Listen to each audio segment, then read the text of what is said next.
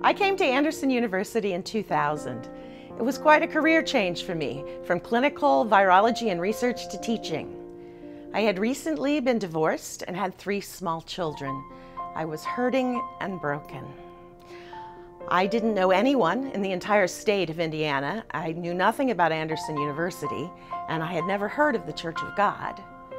But what I found here was a warm and welcoming community, and they build me up and continue to give to me.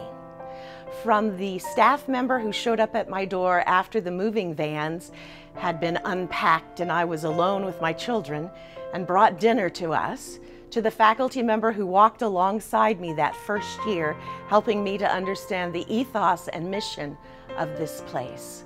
As a professor in biology, I'm thrilled when my students get into medical school and graduate school. I love that rush when they come into the biology core with their acceptance letter and can't wait to share the news with us. I also like to give back as a woman.